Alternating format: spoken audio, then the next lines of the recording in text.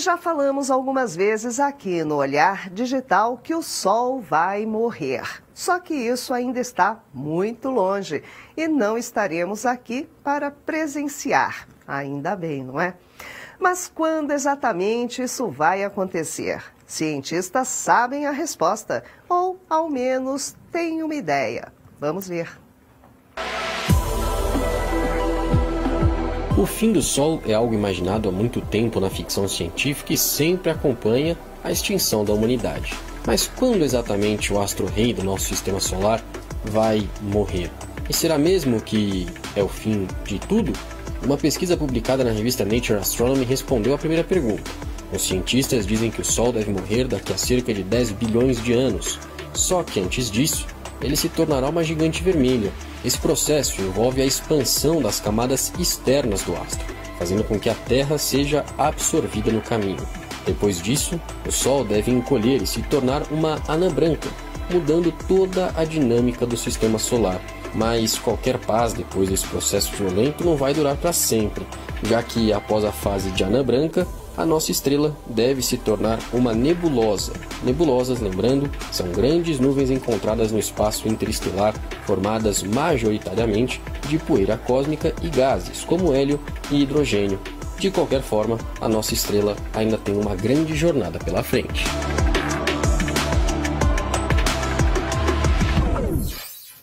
E agora uma notícia preocupante vinda de uma pesquisa feita por uma das mais respeitadas universidades dos Estados Unidos. Respirar o ar do interior dos carros pode ser perigoso. Mais que isso, ele pode até ser cancerígeno. Vamos ver agora todos os detalhes. O ar que respiramos dentro dos carros pode conter elementos cancerígenos. A informação parece preocupante e é mesmo. Uma nova pesquisa da Universidade Duke, na Carolina do Norte, diz que 99% dos automóveis fabricados nos Estados Unidos desde 2015 contêm materiais potencialmente perigosos. A análise do ar interno dos veículos encontrou produtos químicos usados na segurança contra incêndios, mas que estão sendo investigados por uma suposta ligação com câncer e outras doenças. Como os motoristas passam pelo menos uma hora dentro do carro por dia, a exposição pode ser prejudicial. Basicamente, materiais internos dos carros liberam substâncias químicas que podem ser prejudiciais. E no verão, a situação piora o estudo mostrou que a concentração tende a aumentar de duas a cinco vezes com o aumento da temperatura.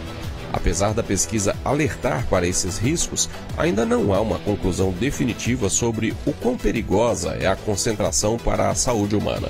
O que se sabe nesse momento é que estudos mais aprofundados precisam ser feitos para podermos afirmar que o ar do interior dos carros é seguro ou não.